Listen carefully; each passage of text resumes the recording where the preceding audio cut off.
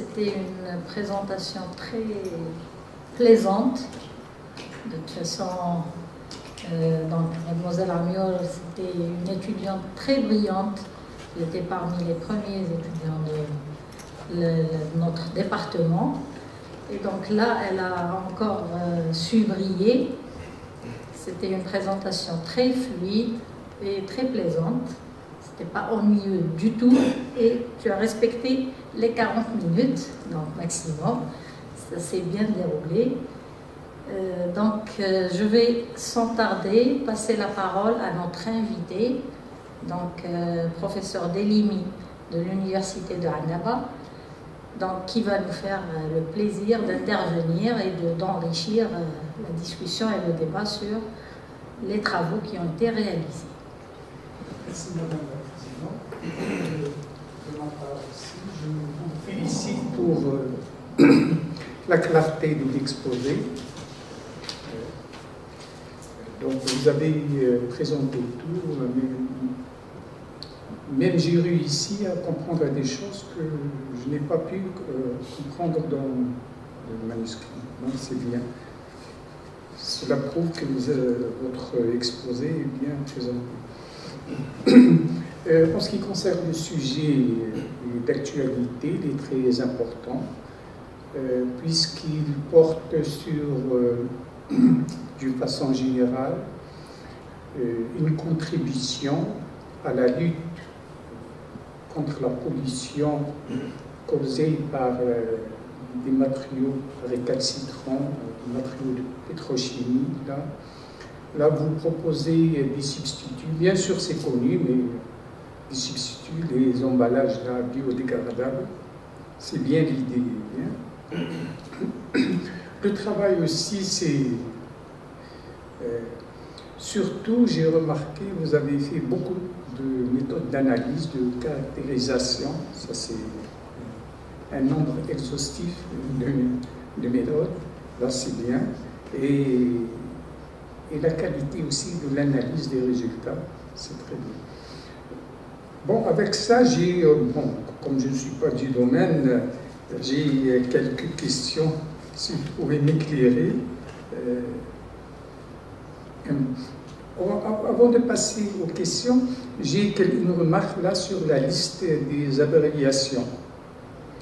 Là, si on regarde la liste d'abréviations, il n'y a pas seulement que des abréviations, il y a des symboles. C'est pourquoi il fallait écrire liste de symboles et abréviations. Et avec ça aussi, elle n'est pas complète.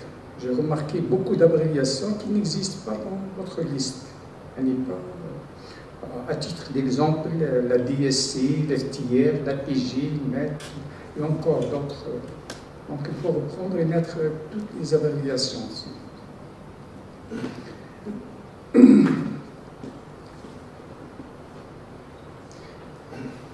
Maintenant, ma, question, euh, c'est sur le, matériau là que vous avez utilisé, surtout le chambre. Euh, je vous pose la question, une question directe. Pourquoi, euh, d'après euh, la littérature que vous avez présentée, le chanvre n'existe pas en Algérie Vous dites en Europe, en Asie ou en Amérique. Pourquoi vous n'avez pas choisi une plante qui contient euh, de la cellulose et qui existe en Algérie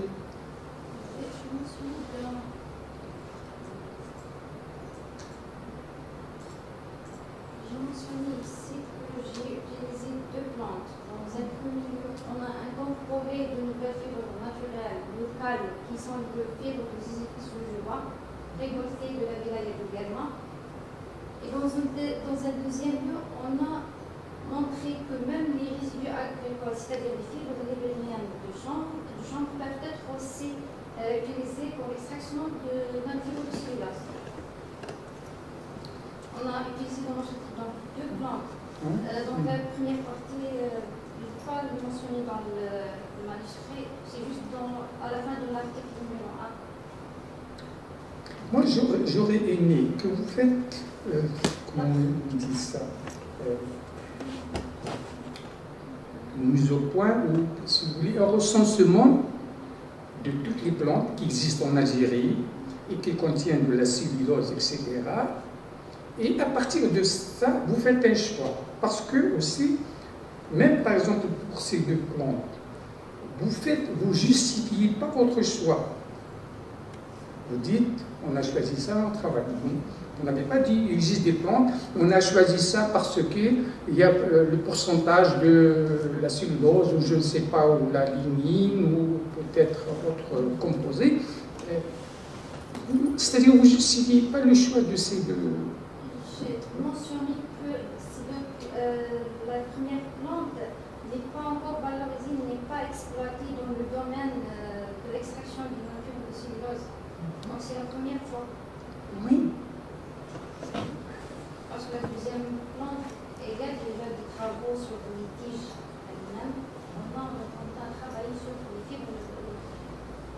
Même si c'est la première fois, il fallait justifier un petit peu, dire par exemple, elle n'a pas été euh, étudiée, n'a pas été utilisée, mais elle contient, elle contient, c'est intéressant de vérifier si ça marche, On n'en a rien, il ne faut pas amener des plantes comme ça et, entamer un travail. Bon, ça c'est pour justifier.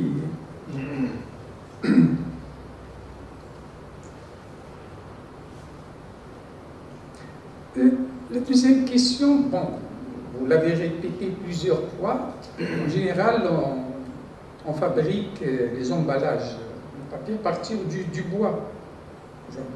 Pourquoi vous voulez substituer ces deux-là au, euh, bois? Ces deux sources de, cellulose Pour valoriser la biomasse végétale, en fait, en dernier temps, il y a des projets qui favorisent euh, la valorisation euh, d'autres espèces végétales. Est-ce que vous trouvez qu'on n'a pas assez de bois ou par exemple c'est peu coûteux d'utiliser des, euh, des, plantes comme ça. Vous trouvez quelque chose.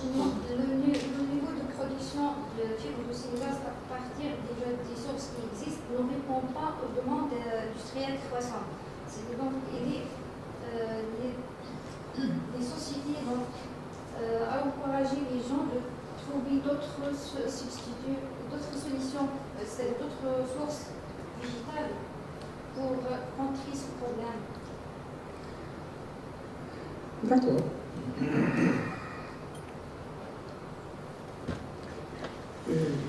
au passage, il y a une remarque il faut peut-être reprendre euh, votre euh, manuscrit. Il y a, des erreurs de, faute plutôt d'orthographe et de grammaire. Hein, euh, reprendre. Par exemple, à la page 68, quand vous dites, vous parlez quelque chose de final, à augmenter, vous utilisez le verbe avoir. Vous utilisez et eux. Non, et seulement. Et vous dites en diminué, vous utilisez et eux. Non, et seulement. Donc plutôt reprendre, c'est pas bien de laisser les comme ça.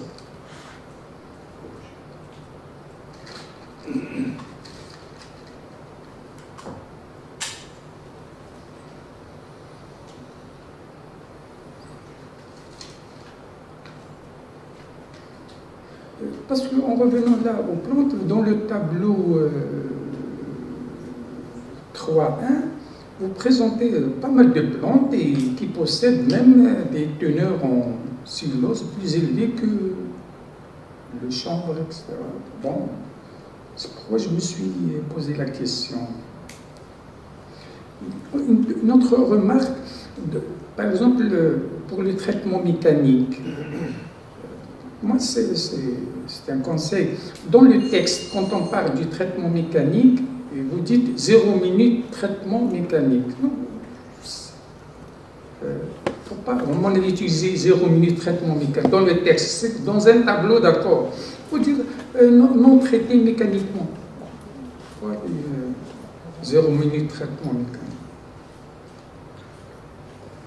Et, toujours avec ce traitement mécanique, dans la section de traitement mécanique, vous parlez de traitement par homogénéisation Et dans la page 81, à la quatrième ligne, euh, deuxième paragraphe, quatrième ligne, vous parlez de l'augmentation de la fibrillation mécanique. Est-ce que c'est la même chose avec la fibrillation mécanique et l'homogénéisation? Parce que Parce qu'on a l'homogéné- on a, euh, ce mécanisme qu'on a utilisé, ce- c'est l'homogéné- l'homogénéisation à grande vitesse. Oui. Et ça veut dire c'est une fibrillation mécanique.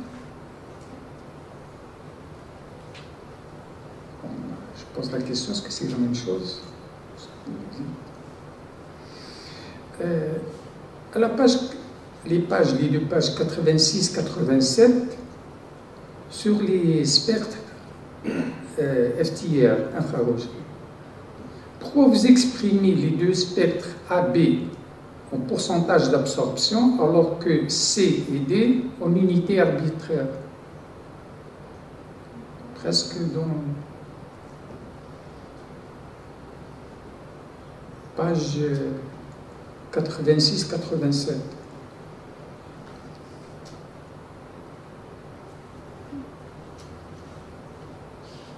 C'est quel diapo non? Non, non, non, non, non, dans le, le- dans le manuscrit.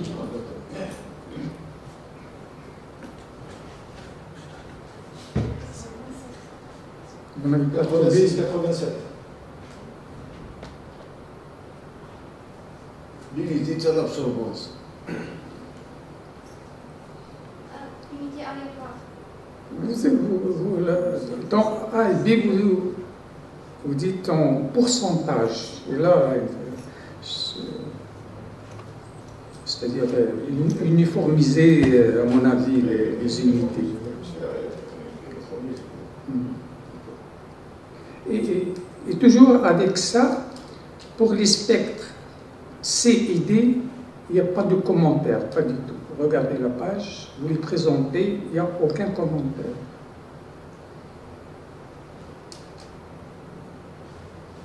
Euh, le commentaire pour 86-87, et là vous terminez, vous sautez un autre sous-titre, vous présentez les spectres. Vous parlez bien sûr de A et B, mais pour C, D, C et D, vous ne faites pas de commentaire. Bon, euh, je vous le dis, euh, au moins dire quelque chose.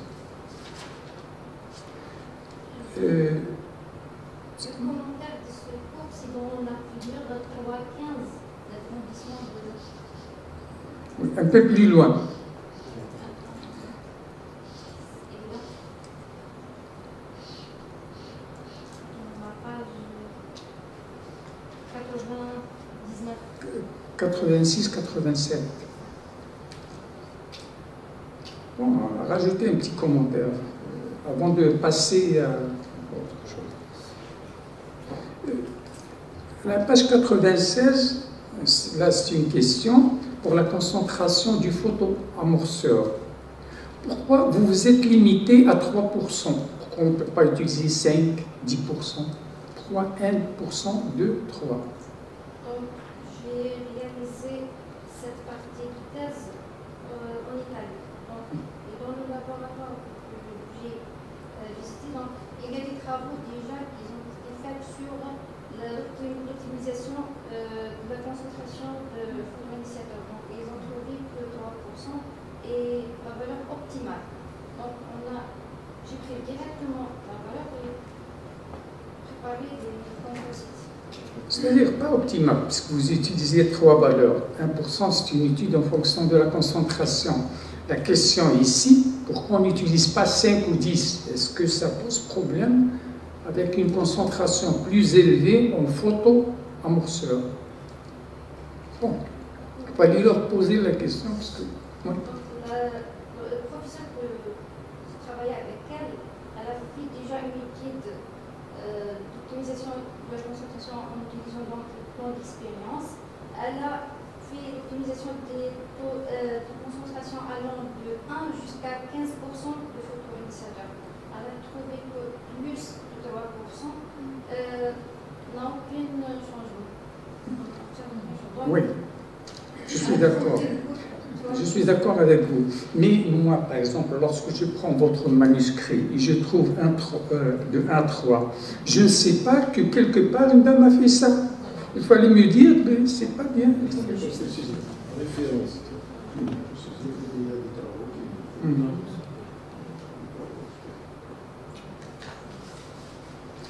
Euh, à la page 128, euh, moi, j'ai essayé de comprendre un petit peu. Là, vous parlez de la teneur en NFC, l'humidité et la perméabilité. D'accord? Et là, vous commentez, etc. Je ne sais pas, moi, en lisant tout ça, je me suis posé la question, peut-être, bon, vous me corrigez, je ne sais pas où j'ai fait le commentaire. Ah, voilà. Euh, normalement, lorsque la teneur en FC, euh, voilà, euh, si, je conclus tout ça, normalement la perméabilité augmente avec la teneur du, NFC et du pourcentage d'humidité. Est-ce que vous êtes d'accord pour les, euh, matériaux que vous avez utilisés là? C'était à la page 128. Parce que pour chacun, vous prenez à chaque fois, vous dites euh, si euh, la teneur en FC augmente, ici euh, l'humidité augmente, la perméabilité augmente ou elle sera grande.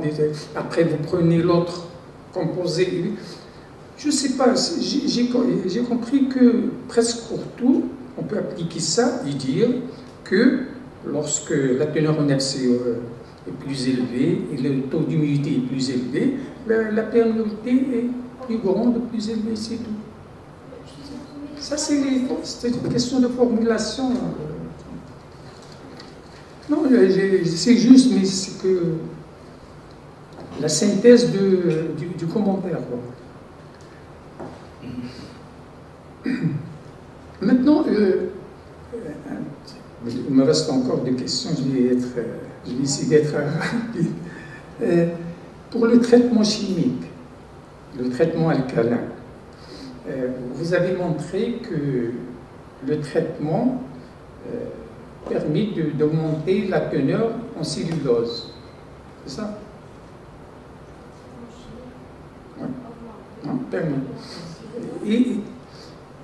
Et, là, ma question, est-ce que le traitement chimique, il augmente par extraction ou par transformation Ou parfois vous dites par conversion on élimine le composé non cellulosé d'extraction avant le cellulose qui est éliminé, déposé à l'intérieur de la Mhm. surface typique. Ah,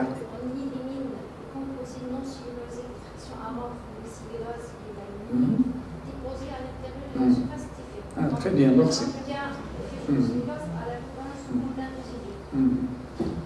D'accord, c'est c'est c'est clair.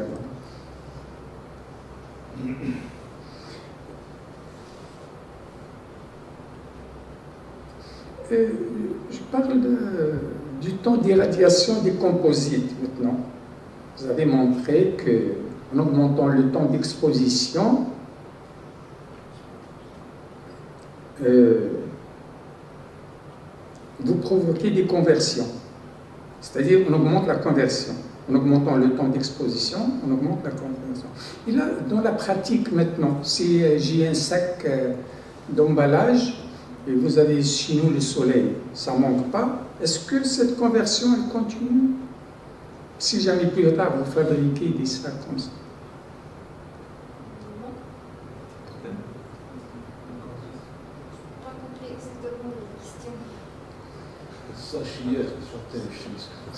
Vous avez montré en exposant les, le composite, le taux de conversion augmente.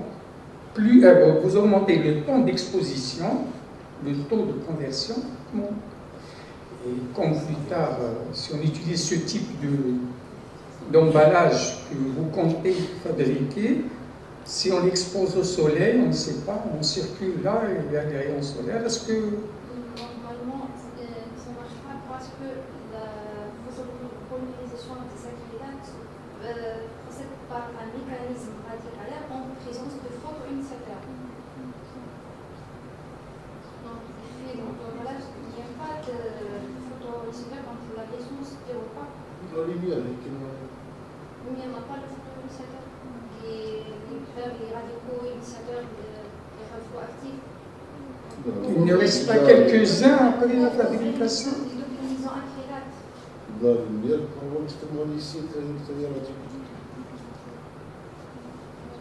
D'initiation, propagation, terminaison. mais en présence du photoinitiateur. Parce que pas de photoinitiateur, pas de radioinitiateur libre qui ouvre les mobilisants. De. Donc, Non, Ah, attends. Les réactions radicales en général. Phoenix va des mecs pour HMU. HMU, c'est quoi? C'est la lumière. C'est- C'est des photons. Vous voulez que c'est l'élément C'est pour que justement ici, il y a radicaux libres. On va être sur l'initiation. Justement, les radicaux libres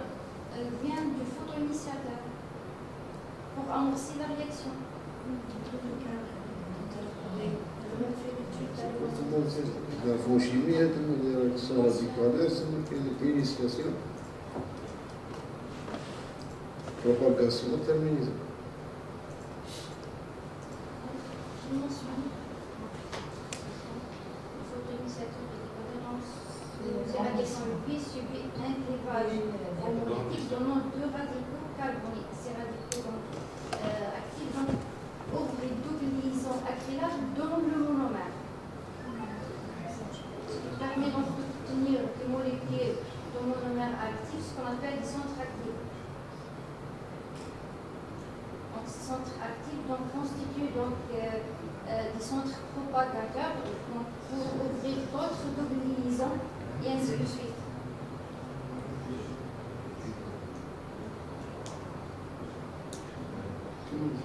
Bon. Euh, Une dernière question, c'est une question générale. Là, euh, vous proposez ce, type de matériaux biodégradables comme substitut aux matériaux de pétrochimie.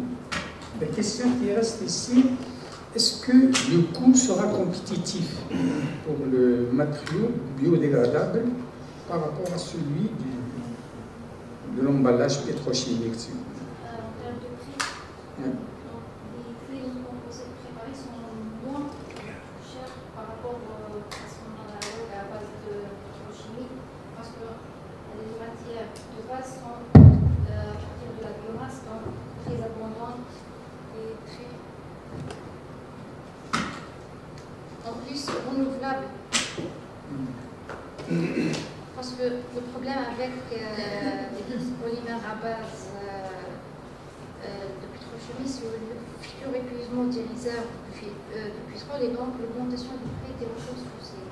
Par contre, la matière végétale est très abondante, et plus renouvelable, donc euh, c'est moins coûteuse par rapport aux énergies fossiles. Mais on ne peut pas toujours dire moins coûteuse, plus coûteuse, plus.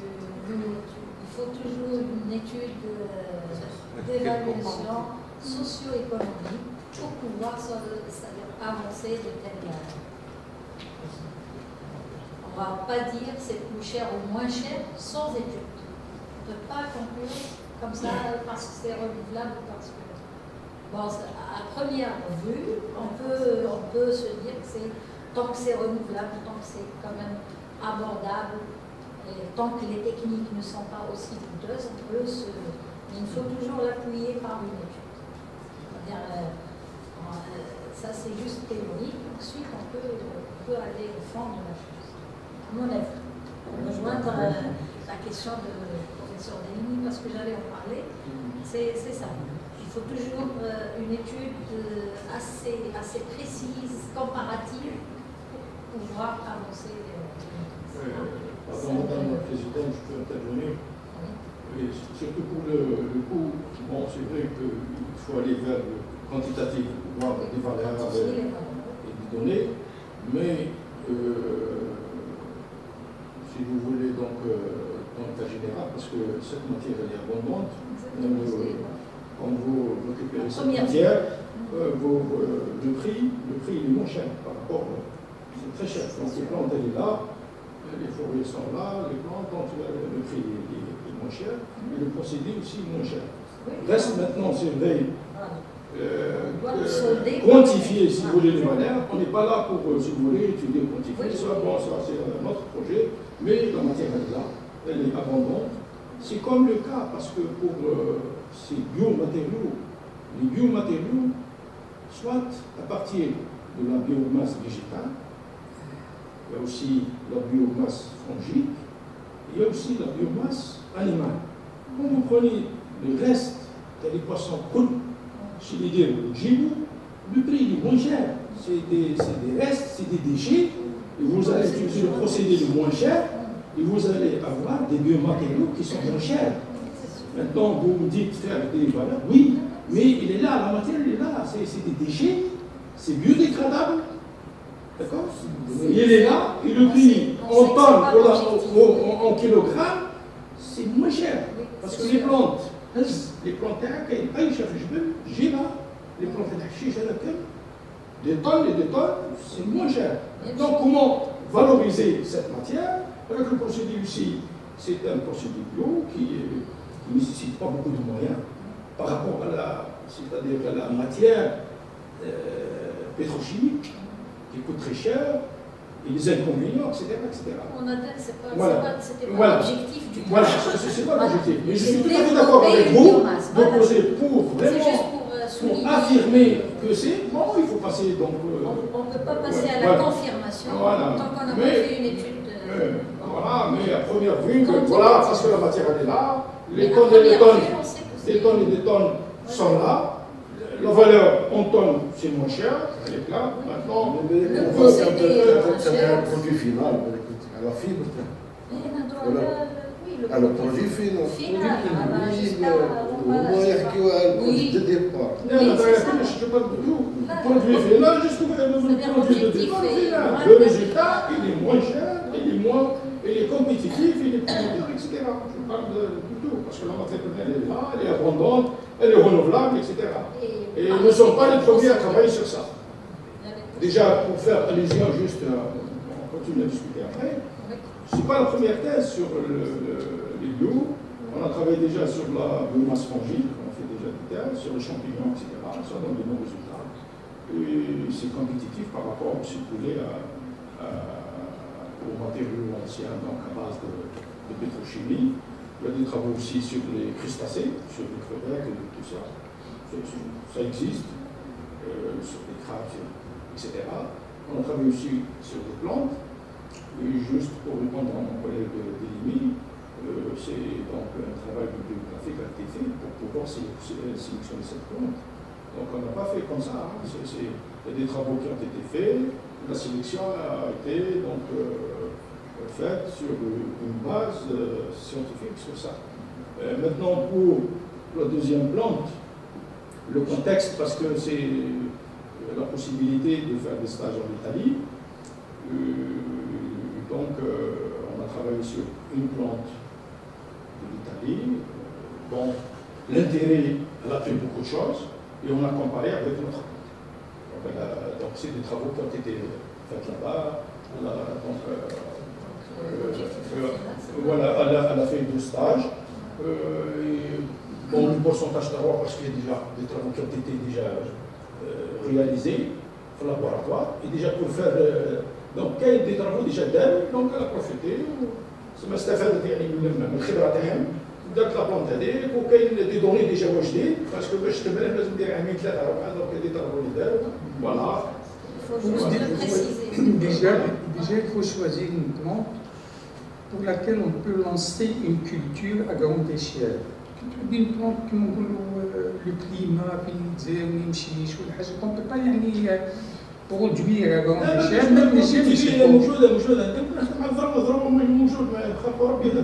C'est des plantes naturelles, sauvages.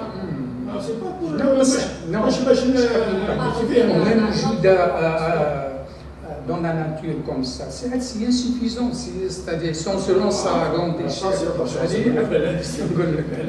D'abord, c'est scientifique, hein, valoriser, qu'est-ce qu'on peut faire, euh, et puis s'il y a une application industrielle, ah, ben, c'est à dire, euh, ce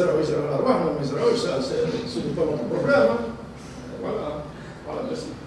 Voilà. Bon, euh, bon j'ai terminé. Euh, je vous félicite encore une fois pour la réalisation de ce travail qui est très, intéressant et je vous souhaite une bonne continuation dans vos projets. Et je vous rends la parole, Madame la Présidente. Merci, euh, professeur Delimi. Donc, bon, c'est c'est une discussion, on est en train de discuter, c'est pour ça que euh, professeur Satra a pris la parole. Et donc, ça ne peut qu'enrichir le, débat, c'est un débat, donc euh, on peut apporter un plus à tout moment. Donc, euh, maintenant, je vais laisser le professeur euh, Chagatmi en dernier. Je vais honneur aux femmes. Après, l'invité, c'est la femme qui est à côté. Donc, je vais passer la parole à professeur Bouffefel. Je vous remercie, madame. Je vous remercie.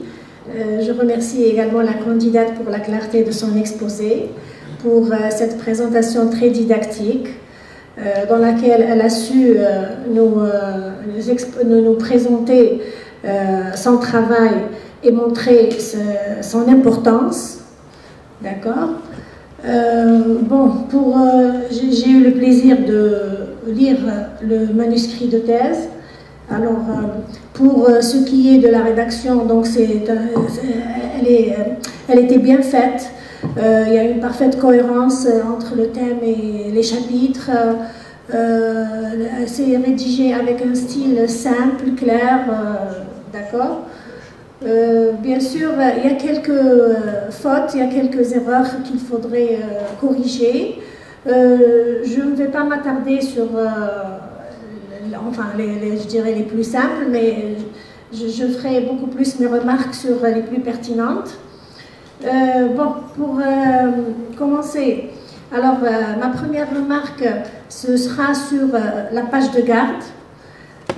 Bon, je pense que vous auriez dû mettre l'intitulé du laboratoire. Vous l'avez fait ici, mais dans les versions que vous nous avez envoyées, il n'existe pas. Il faut ajouter le labo, la page de garde, LSPN. OK? Donc, indique en première remarque. Euh, ma deuxième remarque, la deuxième remarque, donc, euh, c'est en ce qui concerne euh, la traduction. Il y, a beaucoup, de choses écrites en anglais, dans différents tableaux, différentes figures, ainsi de suite. Donc, il faut traduire tout cela, hein, des premières, des choses. Euh, kif kif pour euh, les nombres. Les nombres, ils sont écrits le, le point, madame qu'en français, تقلبي en virgule. Ok عندك et aussi, il faut homogénéiser le- l'écriture euh, de certains, euh, certaines abréviations, ainsi de suite. Par exemple, عندك l'oséa. لوزيا parfois نلقاوها اوزيا parfois نلقاوها ايزو et parfois نلقاوها زويا داكوغ دونك نقلبيها كلمه كيف كيف هذه وحده عندك اوسي هذيك تاع بوغ ان اف سي باس و اليفي كيف كيف في ساعات تعملي لو ال وهاي اش نفس الشيء. دونك il ارونجي Euh, oh, tu fais un tour, donc il y a d'autres choses euh, qu'il faut. Il n'y a pas que ça, donc c'est juste, juste donné un, un exemple. kif kif, là où tu mets la compatibilité, je pense, avec les solvants, la compatibilité, les tubes à essai que tu avais mis en figure. Kif kif, water, eau, oh, il y a un mélange. Chouïa eau, oh, chouïa water, chouïa. Donc il faut arranger. Pour les références bibliographiques, pour les références bibliographiques, kif kif homogénéisées, surtout pour euh, les, pages, début et fin de page. Parce que parfois, tu début, fin de page, parfois tu mets juste le début et tu laisses. D'accord? Le sommaire, normalement, avant euh, les listes, le sommaire, après les listes, liste de tableau, liste de figures, ainsi de suite. Euh, Quoi d'autre? Bon, en gros, pour les remarques. Euh, autre chose, ce que je voulais, euh, la première euh, question, ou bien plutôt, j'aimerais une explication, voilà. dans votre article, c'est microfibrillated, où tout le travail est nano.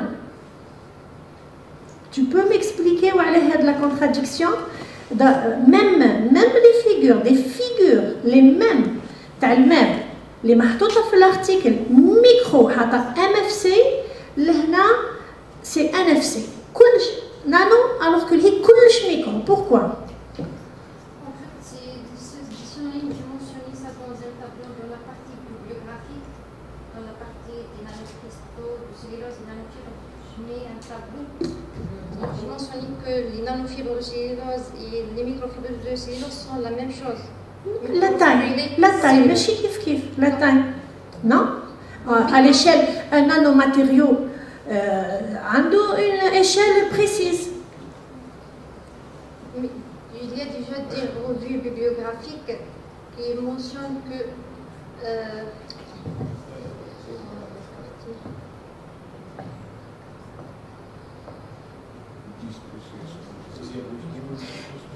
C'est-à-dire, normalement, ça aurait dû être pareil. MFC partout ou la NFC partout. C'est pas la peine de mettre euh, la thèse nano ou euh, micro. D'accord? Donc on ne s'attarde pas trop là. C'est le premier point. Deuxième, pourquoi vous avez marginalisé euh, dans votre manuscrit la, première plante, Jujuba pour, vous avez fait un article, un travail, etc. Vous n'avez pas versé le travail dans le manuscrit. Vous auriez pu faire deux parties, ou faire des comparaisons, ou là, je ne sais pas, madame, le travail a été fait. Ou là, est-ce que, ou là, il y a une raison pour cela?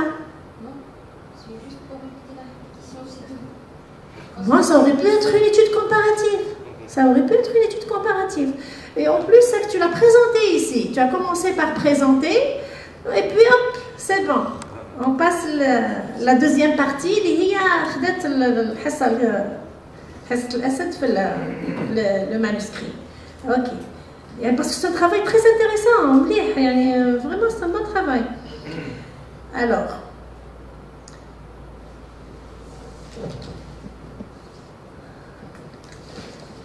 kif kif, j'ai bien lu.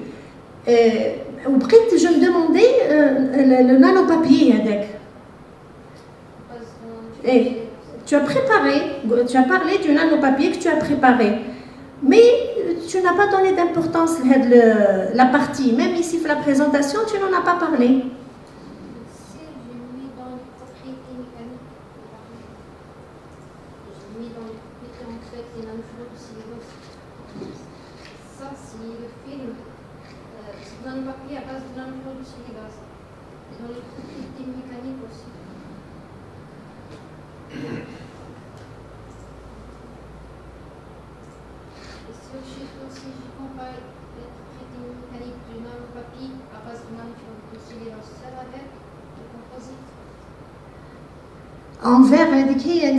NFC هي talonanopathy. Hein.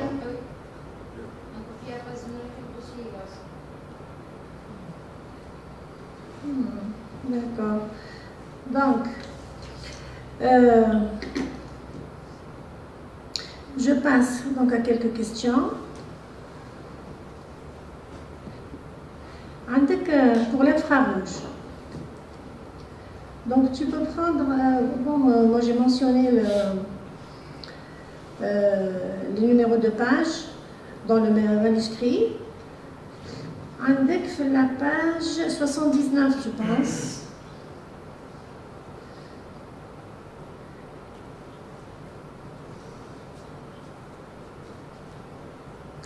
c'est la page 79, c'est le même. Oui, vas-y. Page 79.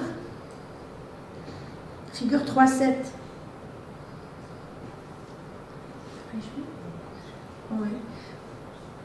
Pourquoi avoir considéré un grossissement différent des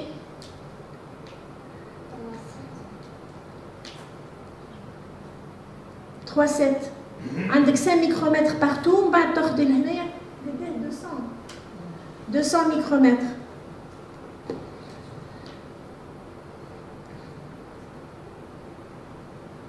Madame, tu compares normalement, tu prends le même grossissement. Oui, la page 79.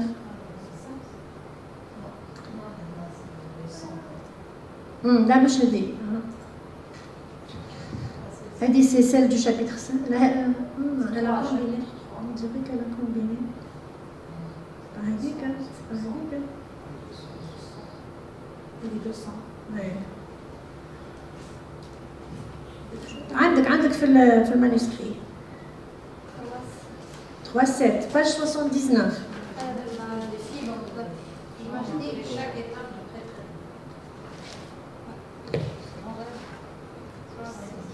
Tu as vu? Donc le D, oui, le grossissement est différent et tu es en train de comparer. Donc euh, normalement, tu prends le même grossissement. Le... Il y a des tableaux aussi. Donc, euh, que, je sais pas, donc j'y reviendrai tout à l'heure au tableau pour les épaisseurs. Euh, l'infrarouge, on l'infrarouge, je pense euh, la page 124 peut-être. Sinon, tu mets le, diapo, diapo d'infrarouge. Composite. Composite, oui. Le suivi de la cinétique de photopolymérisation. Voilà. D'accord. Donc pour l'interprétation, pour euh, l'affectation, tu as les, bandes d'absorption. Je suis d'accord pour tout, sauf pour la dernière, 809, Hedi. 809. Il s'agit de quelle absorption? D'abord, aliphatique, il n'y a pas de double liaison. Tu veux dire oléphénique ah, alors. Euh, double liaison CC Oui, 44. Le double liaison CC me dit, Chabi euh, euh, le 1000, c'est quelle zone? En dessous de 1000, c'est quelle zone? Qu'est-ce qu'on a en dessous de 1000 C'est l'infrarouge. Là, on a quel type de déformation? L'origine des bandes Hors plan. Hors plan. C'est des déformations hors plan. Donc, il y a des 809. Mais un étirement comme vous le dites. Quand tu expliques, dis étirement. Ou tu la CC double. Ou CC double, elle n'existe pas ici. CC double est joué. Euh, ça dépend. Avec toute une gamme. 1400 ou avec toute une gamme, et ça dépend de l'aromatique fait ou de l'oléphénique qu'il fait. Mais, mais à peu près, faut que le 1000, 1400 et quelques. Là, et tu le dis dans certaines zones, là c'est juste, c'est normalement, c'est CH polyphonique. Et tu l'as cité quelque part, CH. CH les laisse في السي سي قلتيها ولا لا شفيتي قلتيها بلاش بلاش شوفي peut-être 88 la page 88 peut-être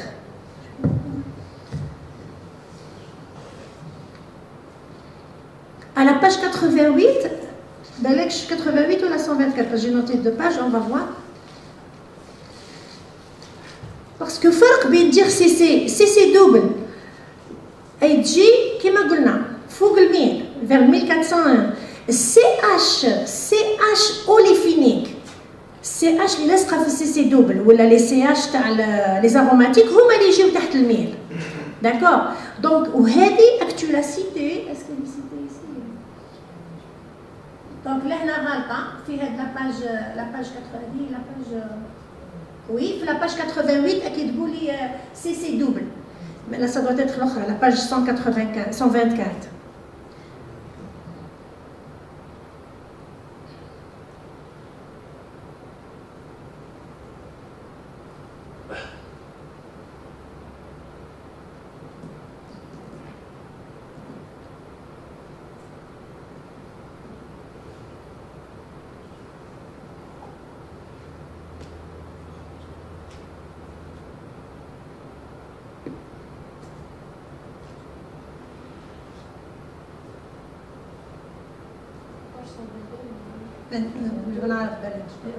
22 guitare guitare CC CC H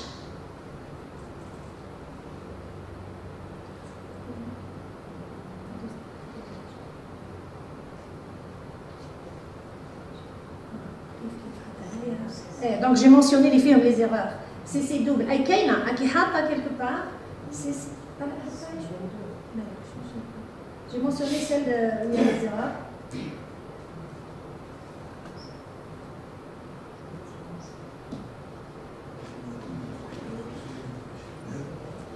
Là, là, là, la CH, c'est celle de 2000 Non,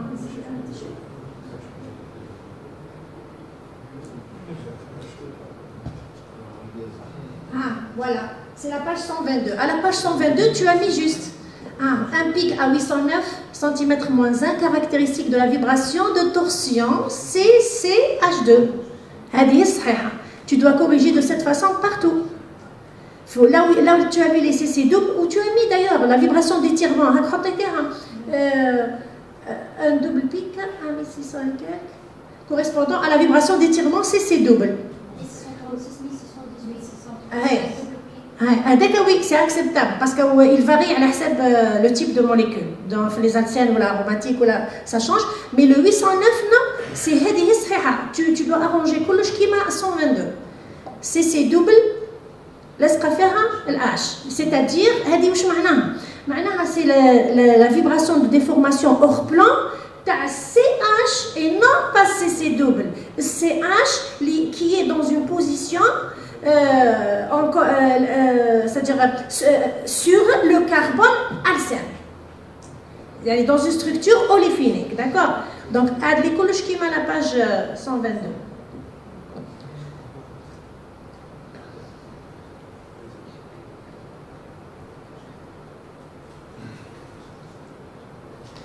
À la page 70, kif kif, tu parles de la vibration d'étirement HOH de l'eau. Pourquoi tu as spécifié que c'est HOH de l'eau. D'abord, à 1640, regardez la page 70.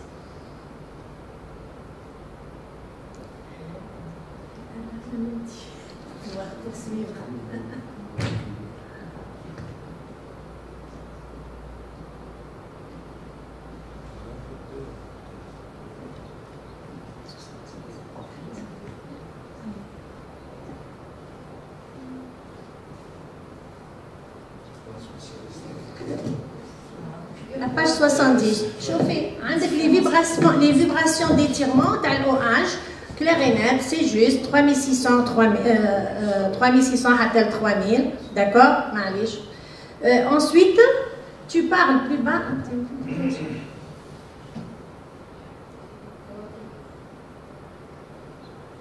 Voilà, Harry. on va dire que tous les tadrines la vibration d'étirement HOH. L'étirement, c'est une vibration valencienne. Tosra qui m'a coûté autour de 3500 bien sûr avec des déplacements haut et bas hein on بعد تولي تقولي لي HOH la vibration d'étirement là euh, vers 1600 c'est la vibration de, de déformation ta H O déjà là tu dois arranger déformation ta HO هذه parce que l'étirement qui doit le il est euh, vers 3500 et pourquoi tu as dit HOH, t'as l'eau Allez, pourquoi tu as dit t'as l'eau Ça ne peut pas être t'as l'OH, هذاك بعد t'as le composé en lui-même. Ça, dans les articles, ils ont mentionné que ce point peut être attribué à la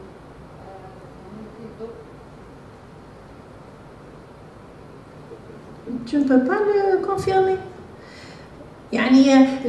l'étirement اللي هي la bande كبيره tu ne l'as pas attribué l'eau حطيتيها pour la structure بصح la déformation اللي هي اصغر منها حطيتيها في pour pour l'eau يعني انا امون افي هنايا on peut pas le confirmer on peut pas dire بلي اي تاع الماء حنا هنا في الانفراروج نقدروا نعرفوها la bande elle existe elle, euh, le signal il est euh, il correspond à une bande due à un mouvement correspondant à un groupement fonctionnel on ne peut pas le dire بما انه كاين او اش في الكومبوزي كل ما كانش او اش في الكومبوزي وكاينه une humidité on peut le dire زعما دام كاين او اش في الكومبوزي on peut pas confirmer بلي سي دو الو هذه يعني سي امبورطون ça euh, pourquoi tu as fait la, la microscopie optique L'objectif, qu'est-ce qu'elle peut vous donner de plus Madame, tu as, tu, tu as pu faire le méboulement, qui est encore mieux.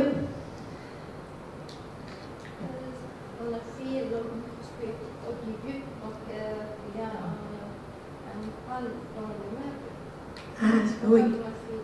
D'accord. Donc c'était, euh, oui, euh, chronologie pour la Khadma.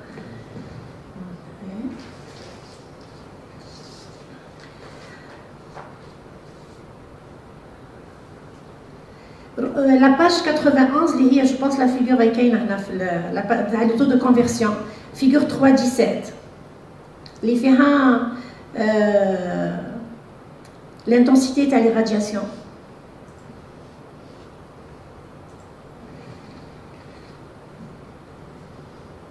Oui, donc on a différentes intensités. Le taux de conversion, il est plus élevé pour 140.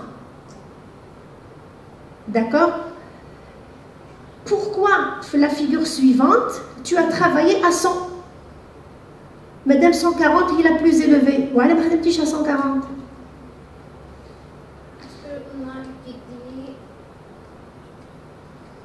la concentration avant l'intensité. On a fait c'est juste 100.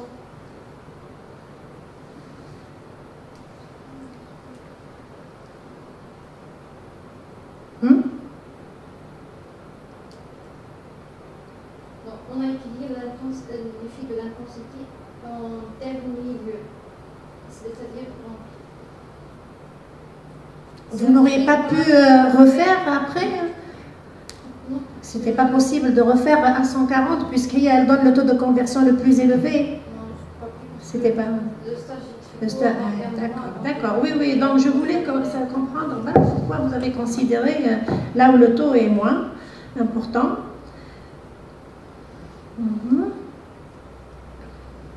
La figure 5.4.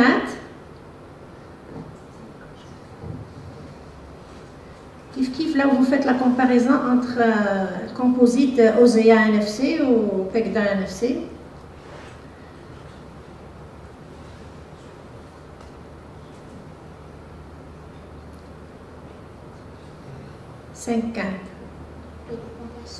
Oui. Pourquoi le nombre de points que vous considérez n'est pas le même? Pour le PECDA et, et pour euh, l'OSEA Kif kif. Normalement, je compare, je, peux, je, peux, je considère les mêmes euh, conditions de travail pour pouvoir arriver à des conclusions. On a terminé jusqu'à 120, c'est juste pour comprendre qu'est-ce qui se passe si on augmente encore euh, le temps d'irradiation. pour l'OSEA. Vous avez terminé pour l'OSEA parce que, en quelque sorte, vous avez déduit bien avant euh, qu'il donne de meilleurs résultats, c'est ça? Pour savoir si on, a, on- si on peut obtenir une conversion complète ou pas. Mhm. Encore euh, un point pour euh, les épaisseurs aussi. Pour les épaisseurs aussi, j'ai vu que euh, vous ne considérez pas les mêmes épaisseurs. Est-ce que, euh, euh, c'est-à-dire, euh, euh, il est possible euh, de les contrôler. Vous pouvez euh, euh, considérer n'importe quelle épaisseur que vous voulez ou là, vous êtes contrainte de travailler avec les épaisseurs telles qu'elles sont indiquées dans le tableau Donc l'épaisseur, c'est suite à la teneur en amphibole de cellulose. Donc, Plus la teneur en amphibole de cellulose, plus l'épaisseur donc, augmente. en teneur de teneur. Tu peux nous mettre le tableau hein Je pense que c'est celui de la perméabilité Hein. enfin, il y a deux ou trois euh, où j'ai remarqué la même chose en ce qui concerne l'épaisseur. Eh, déjà, il y a celui-là. Eh, celui de la variation euh, du taux de NFC. où eh, plus ou moins, elles sont proches. Il y a l'autre aussi, celui de la perméabilité, où les valeurs elles sont très différentes. Donc là, je, veux avoir un éclaircissement de votre part. Est-ce que vous étiez contraint ou là,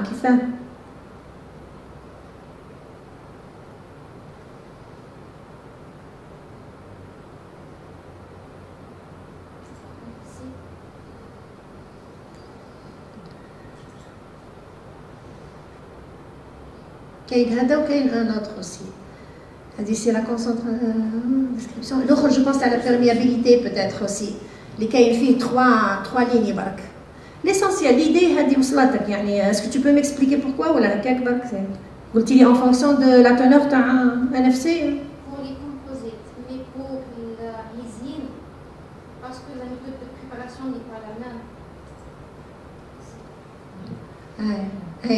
mais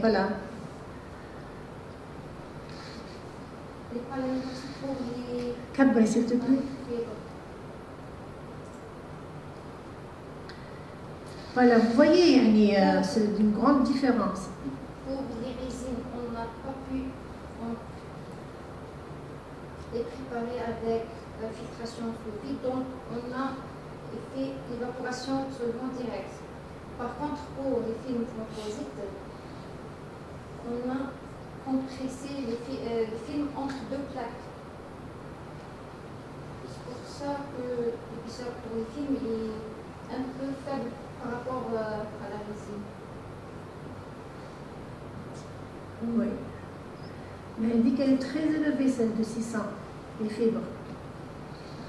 Hmm, D'accord. Donc, euh, juste avant, juste avant, Diapo, tu, venais de passer, euh, là où tu as expliqué, là où tu as expliqué, euh, tu as donné une explication par rapport à, à l'humidité. Diapo avec les le, le, schéma. Voilà, celui-là. Voilà. Donc, lorsqu'on compare pour le premier et le second, donc la différence là, c'est l'existence de l'NFC. plutôt l'OZEA. Donc, la base de NFC. Avec NFC ou avec l'OZEA. D'accord.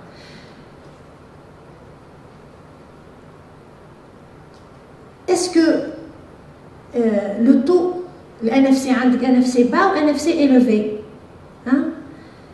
Est-ce que par cette explication, le NFC élevé euh, ne paraîtrait pas mieux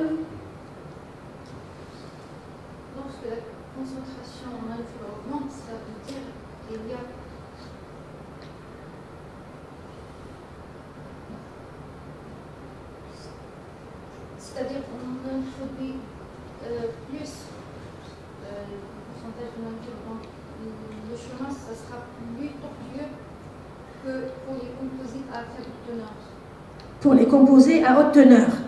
À haute teneur, il va être plus tortueux. Oui. Que les composites à faible teneur. Oui, donc, euh, de ce que tu viens de me dire maintenant. Donc, à haute teneur, ce serait mieux par rapport à, la, perméabilité à l'eau. Voilà. là Madame, euh, plus tortueux, maintenant, il aura des difficultés à s'imprégner. Des difficultés à s'imprégner, maintenant, j'ai atteint mon but, bien diminuer la perméabilité. Donc, là, راح تولي contraire à ce que au résultat que tu as obtenu. Les هما à faible teneur هي أحسن. Donc, il doit y avoir une faille là dans l'explication تاعك. فهمتيني؟ Parce que انت من ton travail خرج بلي à faible teneur هي meilleure en océan. Donc, l'explication que tu as donnée ici, donc, euh, je me suis dit que cette explication, en la projetant sur haute teneur, va être meilleure.